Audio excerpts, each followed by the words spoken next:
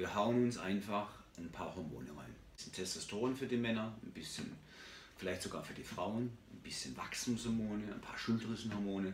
Das klopfen wir uns ordentlich rein, über 50 und dann läuft alles von ganz alleine. Du bist leistungsfähig, du kannst Bäume rausreißen mit unter 25-Jähriger und Cocktail reingeballert und schon läuft alles von ganz alleine.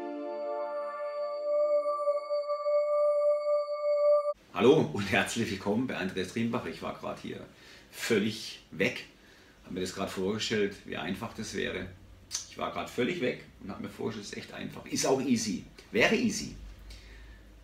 Hallo, jetzt nochmal. Hallo, herzlich willkommen. Ich bin immer noch durcheinander. Hallo, herzlich willkommen bei Andreas Rienbacher, Personal Trainer aus Karlsruhe. Heute zum Thema Hormone über 50, die lieben Hormone über 50. Heute geht es darum um eine Frage von einem äh, bei YouTube das war eigentlich schon die zweite Frage zum Thema über 50 Hormontherapie. Gute Frage, gute Frage. Es ist natürlich schon so, dass wir natürlich über 50-Jährige natürlich das ein oder andere Hormönchen verlieren. Frauen wie Männer, Frauen durch die Wechseljahre, das natürlich auch für Frauen extrem anstrengend sein kann. Das weiß ich auch. Ich habe natürlich einige Frauen in Beratung zu diesem Thema, aber nicht zum Thema Hormone, sondern die sind in den Wechseljahren, nach den Wechseljahren haben wir Probleme, wahnsinnig Probleme, Stoffwechsel, Schlafprobleme und so weiter. Ja, und da äh, ist schon so, dass man als auch Mann sagen muss, boah, ihr lieben Ladies, ihr habt es echt ein Stück schwer. Nichtsdestotrotz, auch wir Männer kommen in den Wechsel. Auch wir verlieren unsere Hormone. Bei uns ist es vielleicht nicht ganz so stark ausgeprägt, aber der eine oder andere merkt schon, oh oh, da funktioniert was nicht mehr ganz so gut.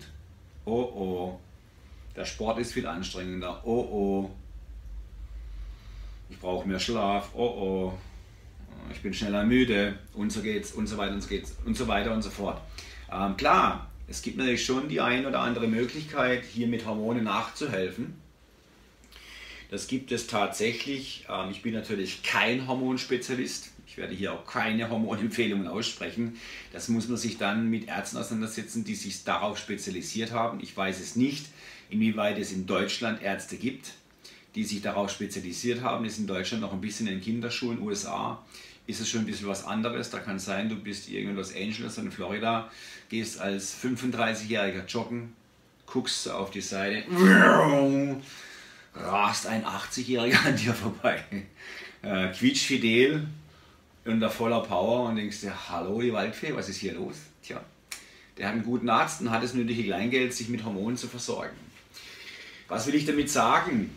Sicherlich besteht die Möglichkeit, auf Hormonersatztherapien, auf Hormontherapien zurückzugreifen. Das Problem ist nur, diese Hormongeschichte bei uns Menschen, die ist schon ein sensibles Thema, ein sehr sensibles Thema. Da kann man natürlich auch viel kaputt machen.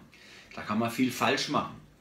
Eingriff in die Hormone, unser Sein und Nichtsein, hängt natürlich auch ein Stück weit, das, was wir so sind, was wir uns ausdrücken, wie wir uns benehmen, hängt natürlich auch ein bisschen mit zusammen.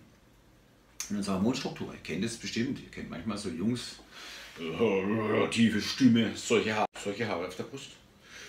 Unterarm behaart, Beine behaart und sind recht laut, recht dominant, stehen mit beiden Beinen im Leben, sind energisch. Und da ist der Verdacht manchmal sehr groß, dass die einen sehr hohen Testosteronwert haben von Natur aus. Und da gibt es so andere, so Männer auch. Hallo, ich möchte auch mal was sagen. Ja, ich traue mich aber nicht. So, da steht der Verdacht aber danach, dass der Testosteron vielleicht nicht ganz so hoch ist, das ist jetzt ganz grob pauschal ausgedrückt.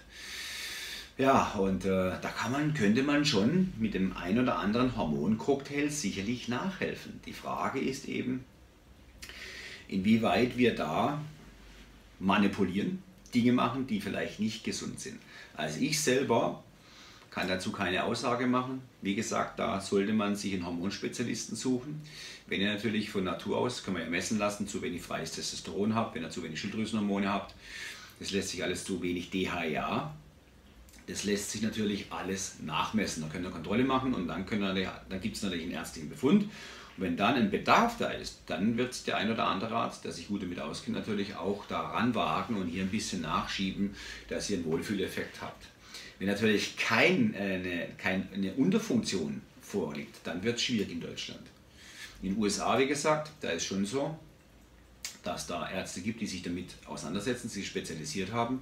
Und da gibt es natürlich dann auch Männer, die sagen, weißt du was, ich bin jetzt 70, ich habe vielleicht noch eine Lebenserwartung von 15, ich gönne mir das, ich habe genügend Geld, ich lasse mir ein schönes Wachstumshormon-Cocktail geben mit Testosteron, feuerfrei, bin bis zu meinem 82, 83. Lebensjahr hoch agil, sterbe vielleicht ein oder zwei Jahre früher, keine Ahnung, weiß ich nicht.